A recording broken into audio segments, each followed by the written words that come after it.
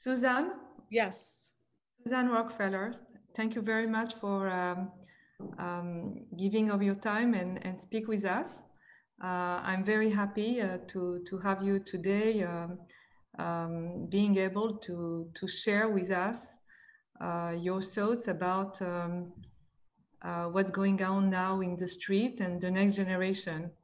But before that, let's put a little frame. First, um, where are you uh, right now? Where how how have you been? How has been um, um, this pandemic time? Um, uh, how has it been for you in terms of inspiration? Yes. Yeah, first of all, it's so great to see you, Karine. And I always love the times that we have together, our times of conversation and collaboration. Um, so it's great that we're both in pink. Also, there's something about the synchronicity about women and, and color and brightness and hope. Um, but right now, I am at our farm in upstate New York in the Hudson Valley. It is beautiful. I don't know if you can, I'm just going to do a quick little you can see that the Catskill Mountains and the oh, um, we've got lots of um, cattle grazing, and it's just very, very beautiful and peaceful. Um, we have bird feeders, so we look at the birds, and there's been a lot of bird activity.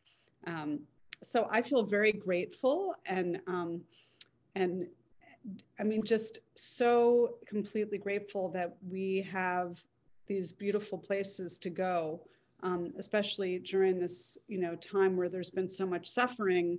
Um, and you know, I do think that there is hope on the horizon with the vaccines. And uh, my husband got his vaccine, and my mother. Um, and hopefully, it will roll out. So more and more people will be able to feel safer, and uh, we can start beginning um, to have some semblance of uh, going back um, to some of the things that we've done pre-COVID, but hopefully with much more awareness of our actions and how they impact ourselves and the planet. Yes, yes. Um, so, so you've been happy and you've been inspired. I see that uh, you've been painting, and I could recognize the landscapes that you've been painting, and I, I, uh, I saw how you progressed in terms of color and and how you know uh, the the work has been um, has been deeper and um, so the way that you have progressed in your in your art i think also in uh, uh, the way you uh, we all have been thinking these days we all have developed thoughts about what happened in a conscious way or unconscious way and and this is something i i would be very happy to to to discuss with you because you are on um, you have a platform because you have uh, many positions on uh, quite few philanthropic uh, uh, uh, foundations and charities. I prefer seeing the foundations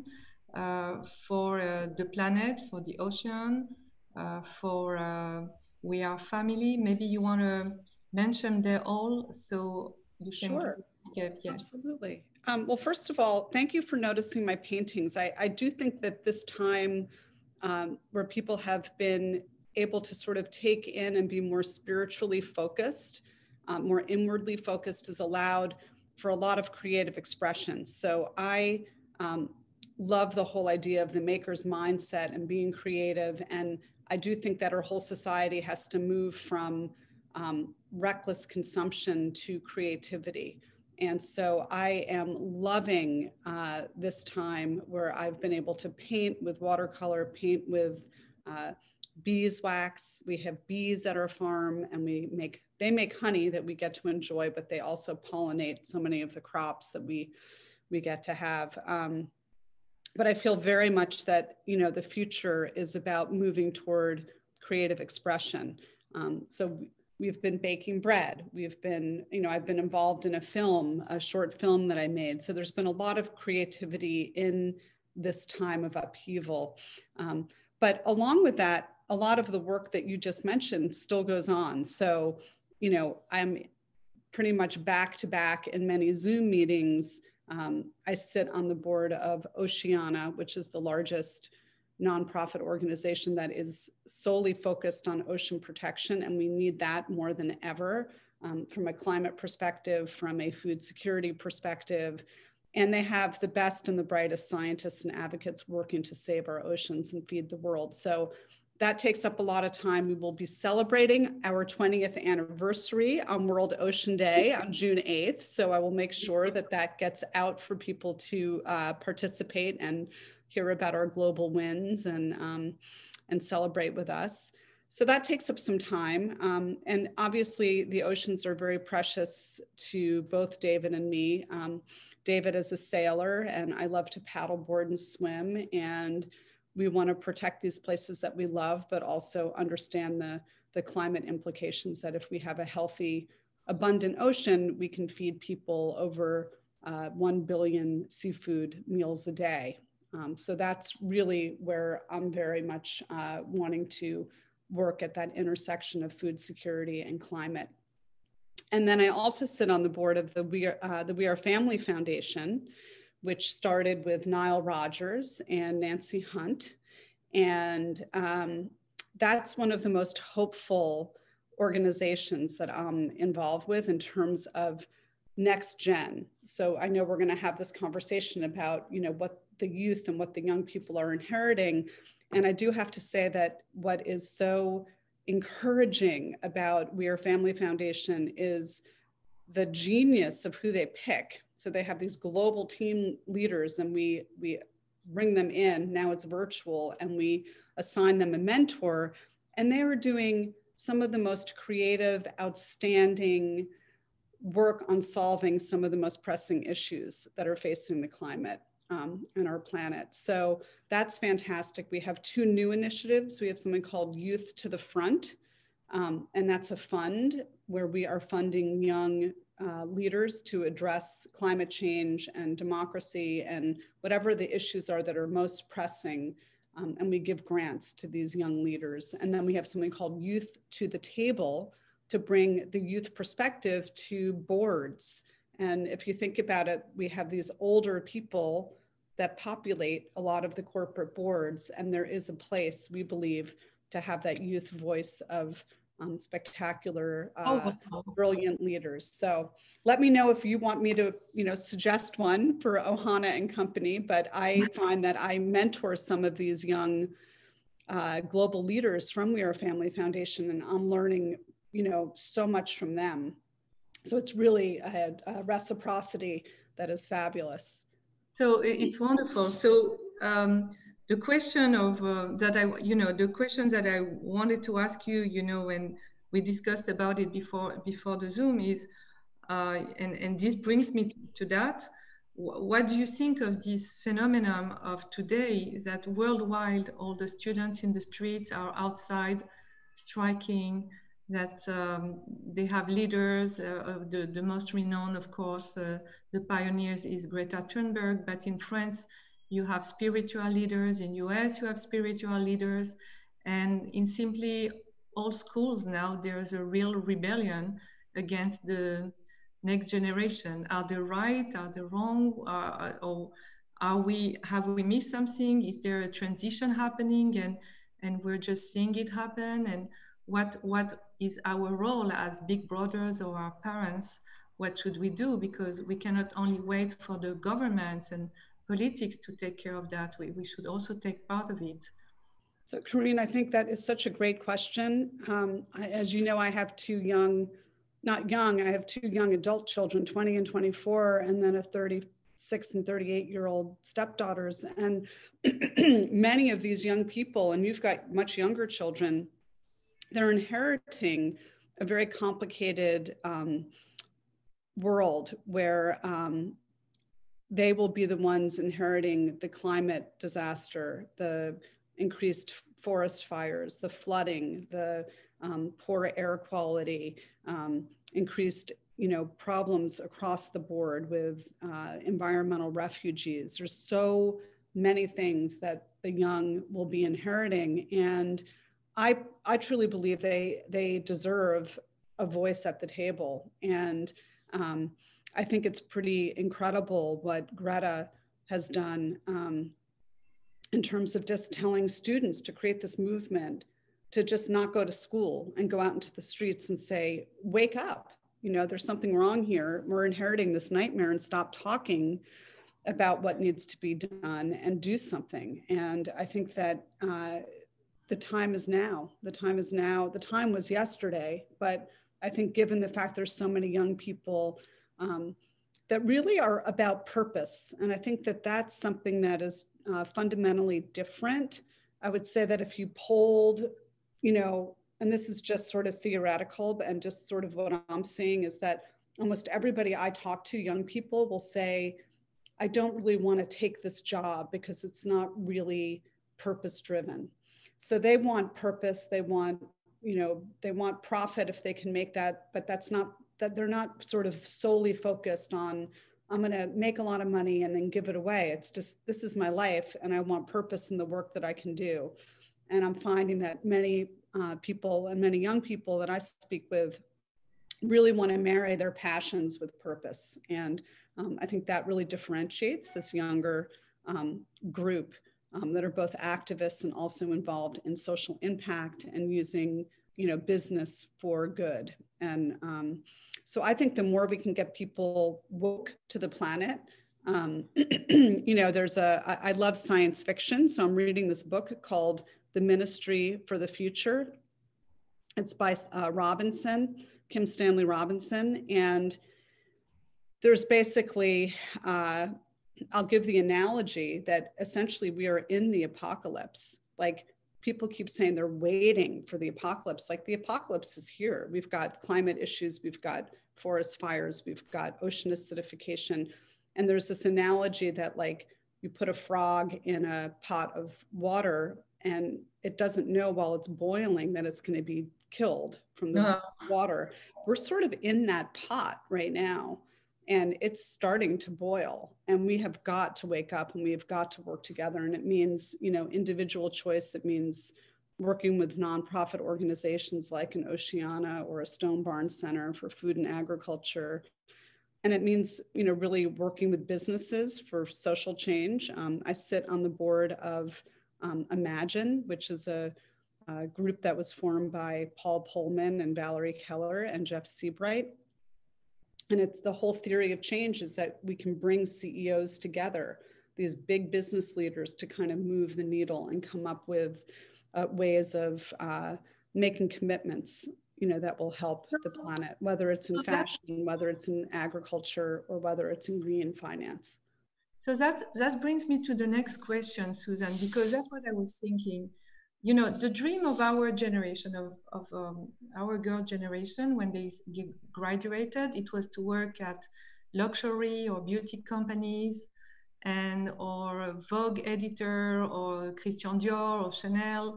You know that what that was the the ultimate uh, goal for girls who graduated to to do this kind of work. And it was a an achievement to, to, to reach these companies or to work in being investment bank banks uh, renowned one uh, when you, you decide you go uh, the finance way.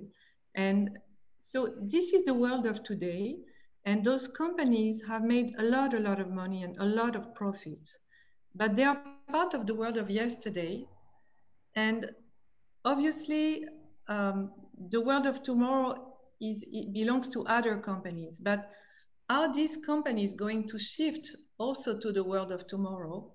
Or are they going to keep on, you think, their traditional business model?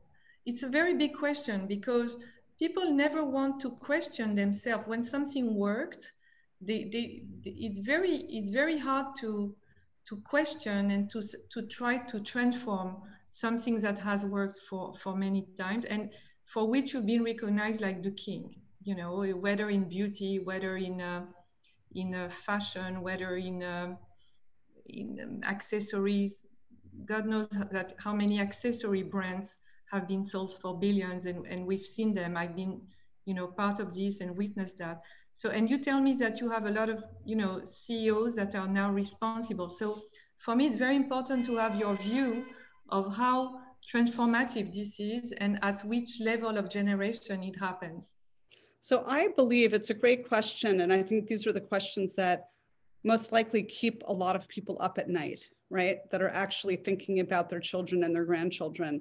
Um, I would say that it's happening on many different levels. And I'll give an example that you've got sort of these bigger companies that um, that are working together um, collectively to make change. So you've got the Fashion Pact that um, uh, Pinault and um, of the Kering Group and Mac President Macron and uh, Paul Polman put together. Um, and there's about 40 major fashion companies that have come on to collectively say they will reduce plastic, you know, that's, you know, reduce their plastic pollution uh, uh, uh, plastic pollution, you know, uh, their energy. They have all these different um, goals that they've all agreed to. And I think that if we can have collective action and also moral leadership at the top, that's going to be crucial. And what I've found is that many of the new CEOs in some of these companies are actually age peers and they align with many of the values. Um, they understand sustainability, they understand the fact that we are passing on a world that will be very um, uh, full of suffering. I mean, I think that the pandemic is one example of a ecosystem, global ecosystem that's out of whack. It's only going to continue unless we start, you know, really curbing emissions and and preserving wild places. There's that whole uh, notion that we have got to keep uh, whatever wild places are that still exist to make sure we can keep them and not keep developing. So I think you've got moral leadership at the top that's shifted. You've got social impact on the part of young people that want to either use entrepreneurship or creative entrepreneurship to address problems.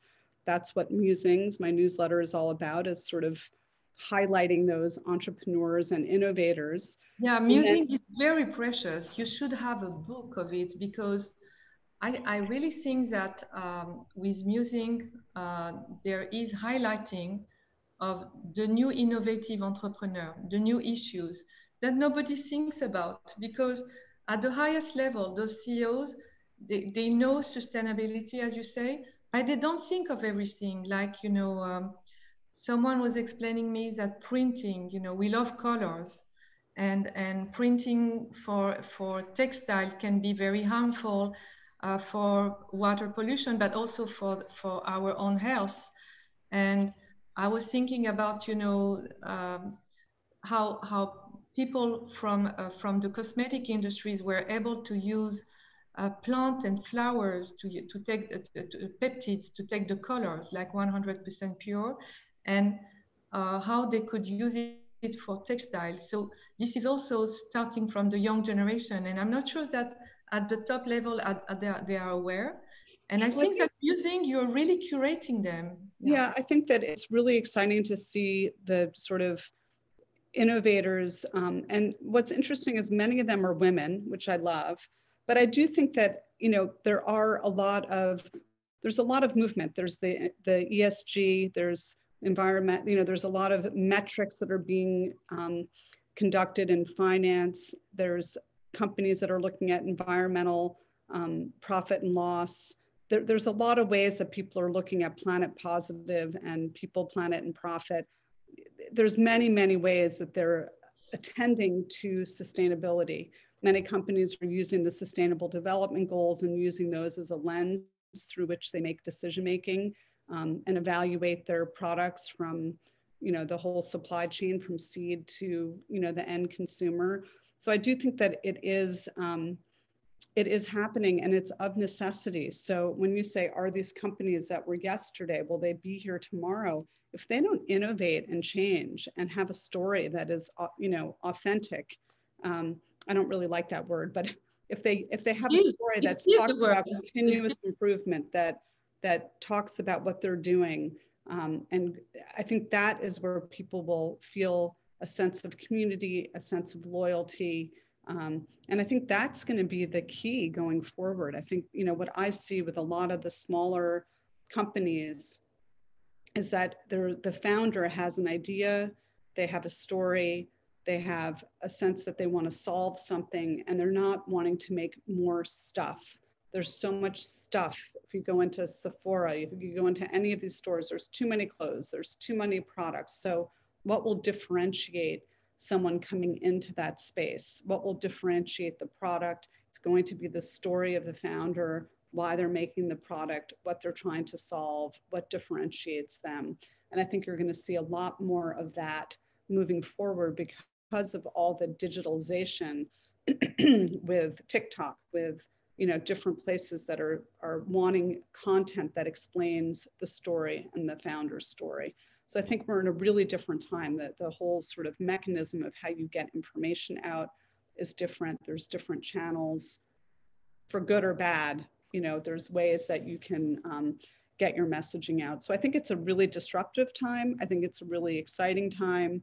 Um, I think that these young entrepreneurs are blending passion, purpose, and solutions to some of the greatest problems that are affecting us, whether it's you know some of the people that I I actually highlight in musings that are doing really interesting work. Um, and I hope that bigger companies like the Unilevers or the fashion houses, the beauty houses will eventually buy um, some of these smaller uh, companies um, and allow them to grow and, and to scale if that's what their end goal is. Because um, some things are not worth scaling. You know, they, they serve a niche within a, a small community. Yes. Um, Susan, you taught me many things. Uh, I, I remember, I mean, I remember the first launch I had with you, which was, I think, 15 years ago. And I'm grateful um, at that time when, when I met you. Um, I remember the launch, we had plastic straws and you called the manager of the restaurant to ask him why he had plastic straws. And you offered me a silver straw to care to have in my bag.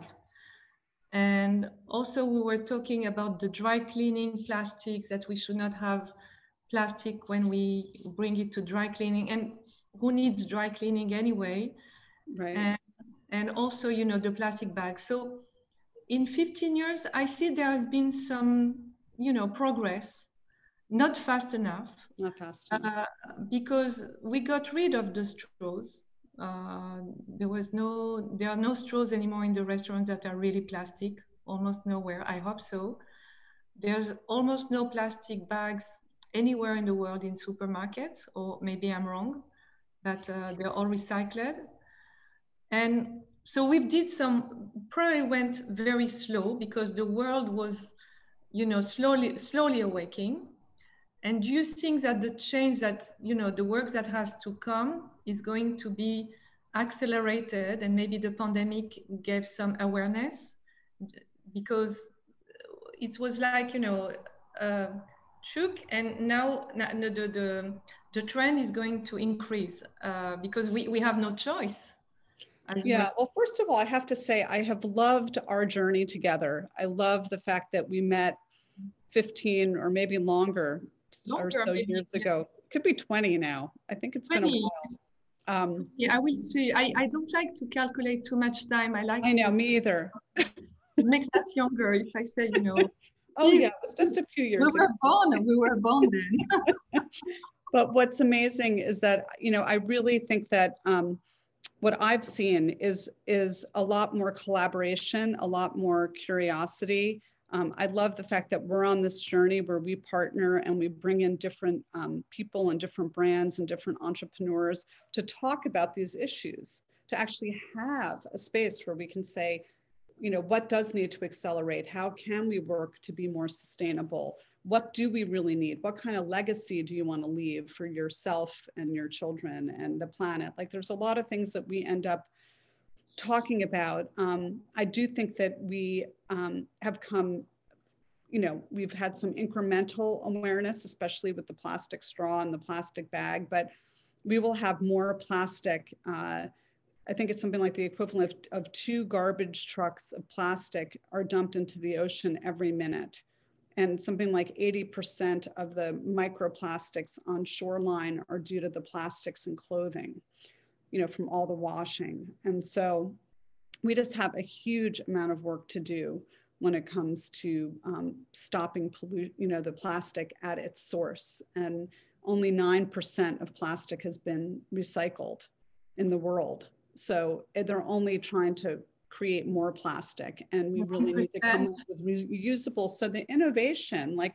i would say you know companies that are at the cutting edge of using, you know, mushrooms and mycelium for, you know, biodegradable plastic or coming up with different ways of packaging um, will really be uh, at the forefront of making some of the changes that are needed. And a lot of uh, consumers don't want plastic. So, you know, I'm, I've just started a small project, a little uh, uh CBD aromatherapy product, and I still can't get, there's still a plastic top that I can't get off of the um, the packaging. So my story will be about how hard it is. Like you have to be aware, but the the systems, the design, and the systems that we're working in are not caught up with the philosophy and the dreams of what we want, which is a circular economy, a way of of designing for disassembly or designing for recycling. And I think there's so much interesting work going on with cradle to cradle or um, design for circularity, the Ellen MacArthur Foundation.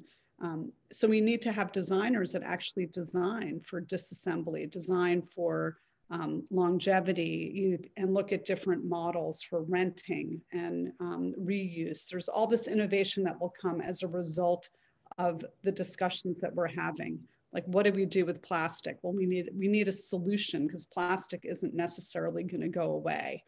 Um, there's there's definitely single use plastic that we should we should really minimize. And then there's other plastic that plays a role um, that's used for you know decades. So it's design products and how we reuse them or rescue them um, to innovate and make something with that resource. Very, very interesting. And Suzanne, you also uh, made me aware, uh, you were the very first, uh, made me aware that uh, fashion and apparel manufacturing was responsible for a huge percentage of pollution worldwide. yeah, 10%.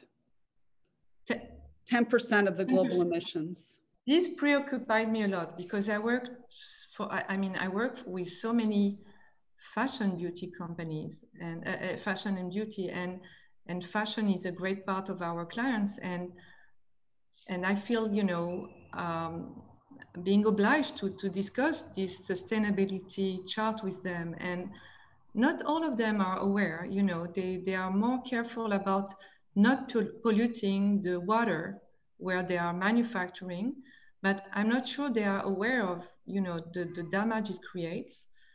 Uh, also, you know, we took care of the real real, the real real that I love.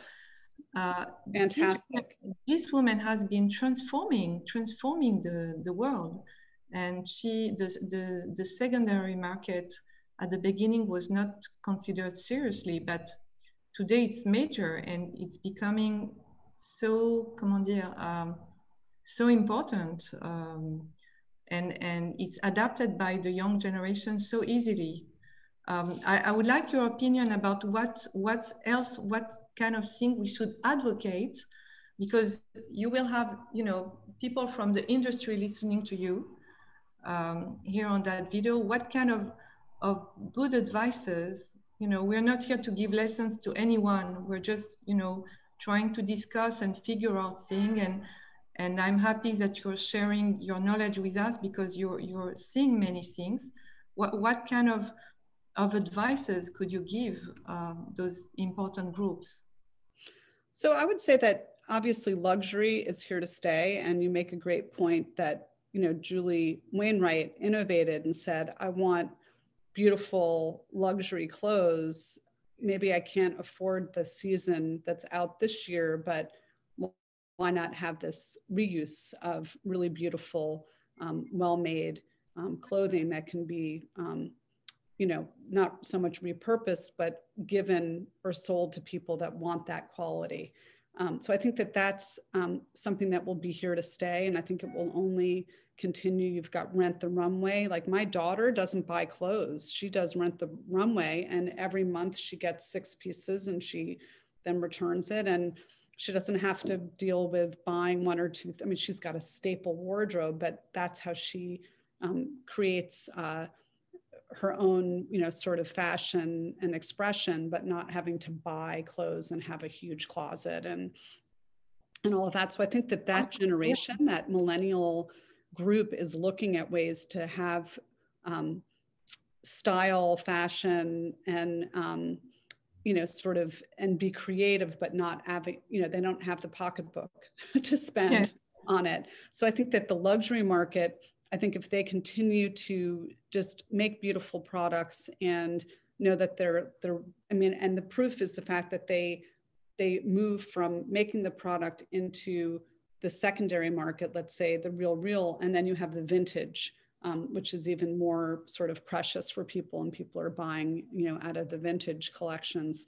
So I think that you'll have that, and you'll have more innovation around that. I think that the RealReal model will continue to grow in other parts of the world. I know it's in Europe, but I think China and Asia, you'll see a lot of innovation there.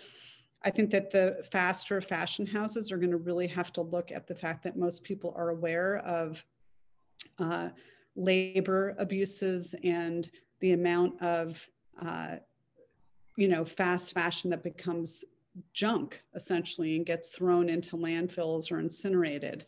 Um, there is innovation happening with um, these manufacturing facilities where they can take a lot of this sort of polyester plastic um, and repurpose it and then re-weave it into a um, into more material so there is a recycling but the problem is you can't recycle your way out of uh, the problem of making too many clothes that are not being used in a way that is efficient or I think it's a moral issue in terms of the planet. There's just way too much being manufactured. So I think that what the pandemic has taught us, you know, is that they don't need to, you know, fashion houses don't need to spend as much money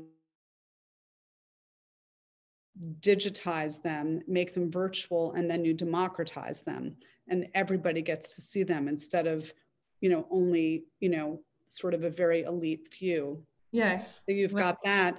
And also, they sort of minimize the fashion seasonality instead of having like four seasons to six seasons to, you know, eight seasons. It's like maybe there's just, you know, two seasons or there's a classic, you know, module that you you know staple collection and then you have other things that you build out from from that sort of core uh, collection. So I think there's going to be a lot more people looking at like what are the essentials of life, um, like what is most essential, and how does one want to live and reflect their values in this time, whether it's uh, pandemic or hopefully post-pandemic. What are the lessons learned? And I know for me, I'm interested in like what is the enlightened way of life. So I think you know I I did that enlightened uniform with the R Collective out of Hong Kong, which rescues material, fashion material that would otherwise go to the landfill, and made this great jumpsuit. Um, I think there's going to be a lot more people looking at what is the essence of necessity, the essence around beauty, and then innovate around that um, and get rid of the extraneous almost like poetry you know like what is what is it what is the haiku you know that can be uh, that could be illustrative of of fashion and and beauty. And um, i think that there's some incredible examples like i know you gave me the Augustinus Augustinus Bader yes, um, yes creams and I've been using them and it's just two creams that I'm using and I just I love them and then there's a couple of other uh, products that I put on that I am really enjoying and a lot of them are just you know sort of essential oil based and so I feel like there's a lot that's going to happen that will say you know I can't wait I can't wait to to try your muses uh, product and I hope it's going to be launched soon. Uh, you, you were telling me it's, it's uh, on process. It's, uh... Yeah, it'll be, I'm, I'm hoping I can send some to you by in the next few weeks, but we're hoping to do a soft launch in April. And mm-hmm. it really is the essential. It's like taking everything down to the essence of a beautiful scent profile. There's an earthy and a floral. And then there's herbs that were put together with a chemist to prevent um, inflammation. So it's anti-inflammatory. It's got CBD. Oh, that's yeah. So it has sort of the attributes of like wanting a muse's moment, I call it, where you just stop. You can rub the oil on your palms. You can put it on your neck, and then you have the ability not to have all this like text neck, because yeah. I think all of us have been on our computers and on our devices. Yeah. uh, it's being able to remind ourselves to take that that moment to take care and do some self-care. It's it's very interesting when you talk about essence of life. I can't wait to try muses, and we will make a special muses uh, with you if you if you agree, because uh, we're very interested. Uh, you know, each time there's an innovative brand uh, with a lot of know-how and integrity and and made out, made out of love and and care careness, which is which is about which is all what you are uh, I, I would love to, to discover it.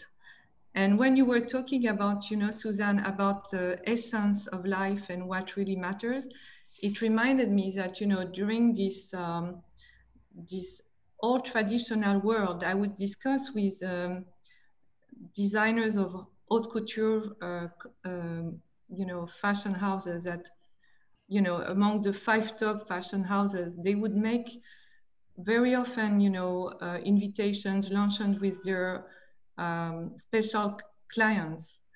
And then they, they would tell me that, you know, the outcome of it is that they would not see happiness. They would see a lot of void. And basically, the more the more the, the woman would spend, the, the more she puts a jail around her, uh, the more she puts barriers. And it makes me think of the, you know, some some books that are, are, visionary books about the world of tomorrow. That we're going to be more and more nomadic and less and less with heavy suitcases, and maybe this this is what you know. This is what life will be about: being able to to travel around the world, to discover, to learn one from each other again, because these, these days it's it's difficult. Uh, but the, the, the confidence that I had from, from designers is that they would not see happiness. They, they would see many frustrations and, and kind of competitivity among women who would want to be sitting front row, front row in a fashion show when they arrive at the fashion show.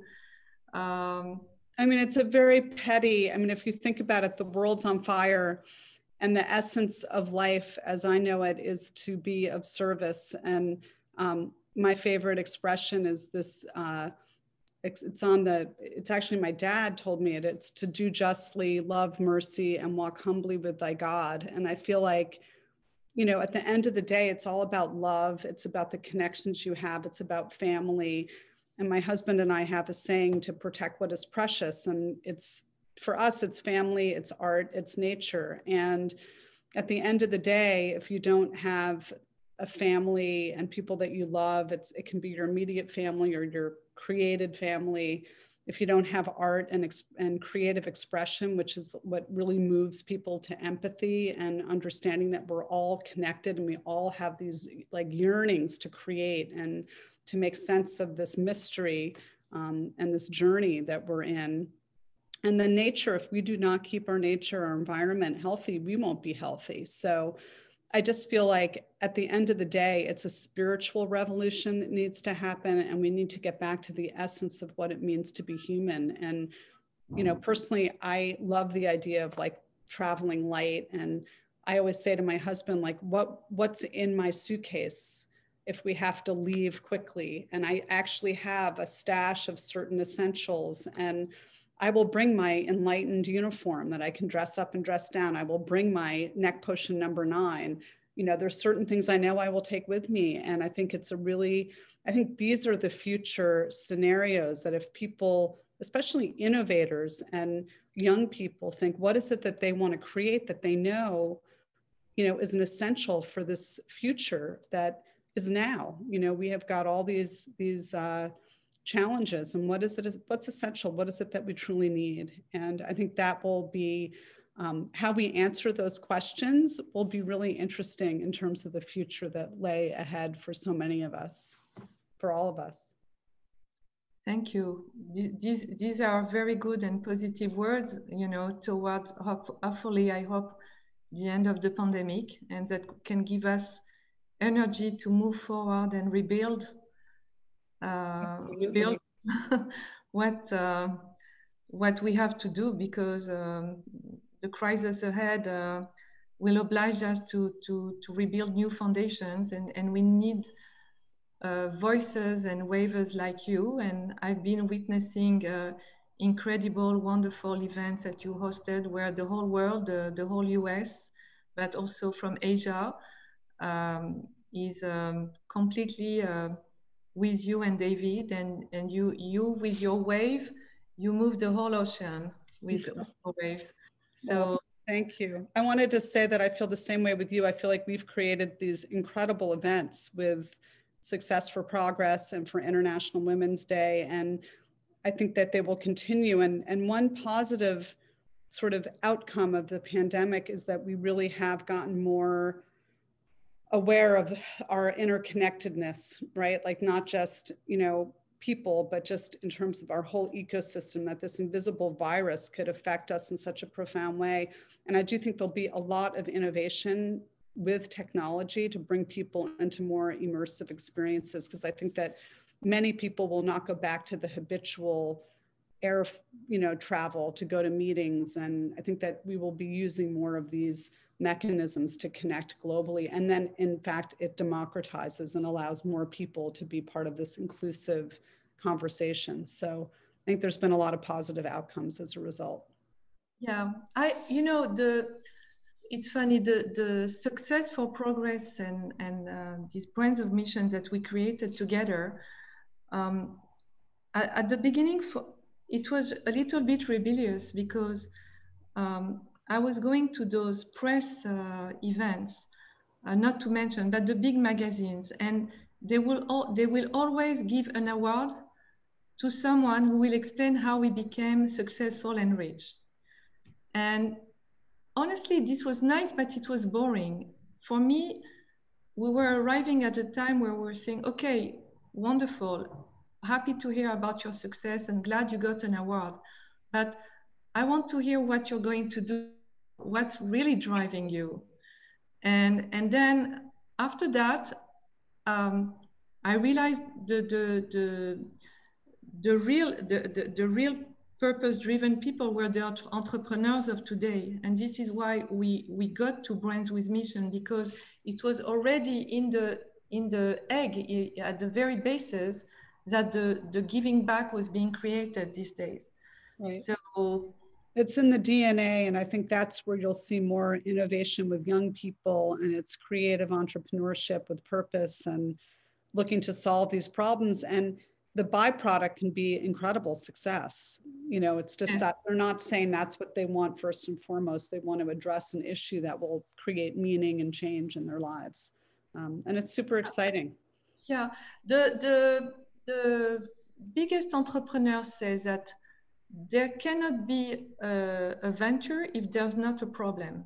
If you exactly. want a company, you need to first have a problem to solve. Otherwise, there's no reason to create a brand or a company. Right. And so that is very important. I think like if you tease that out, like if you're not trying to solve a problem, then don't go into an already crowded field where there's yes. a lot of the same. And I think that's where um, my hope is that people will take that to heart, you know, because there's too much muchness, there's too much stuff in the world. We're using too many resources to make extraneous things that are not meaningful. So if we could kind of learn the lessons of what's essential and um, and work from there, and then really work on design literacy so that we have systems that can really recycle and, and reuse the materials that we're using. Um, we will have a transformation. It'll be very exciting, and it's a it's a necessity. Suzanne, thank you so much for as always. Uh, your vibes are good good vibes good energy vibes yeah and uh, the same way that i you know i feel uh, wonderful listening to you and and um, and listening sharing your thoughts with, with, with me i hope that all our friends all our all the the our circle of friends uh, that will be listening to you these days will be inspired uh, because many come to see us with many, many questions about how they should create their company, which direction direction they should take, and and your guidance is very, very precious.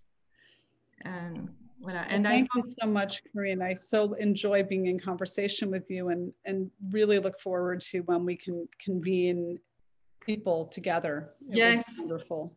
Yes, we're getting towards that. We're very positive and, and next time we're making a brands of mission, a brands with a mission event with your brand, with muses presented.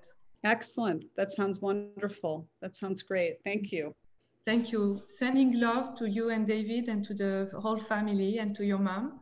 And, Thank and you. And my love to your family and stay safe and continue doing the wonderful work that you do. And I, I love, I have to say, I love the ecosystem that you've created with the brands and the, the fund and looking to support companies that really um, are full of purpose. So, so thank you for your amazing work. Much appreciated. Thank you, Susan. I'm sending you uh, my love and, um, and we'll continue together.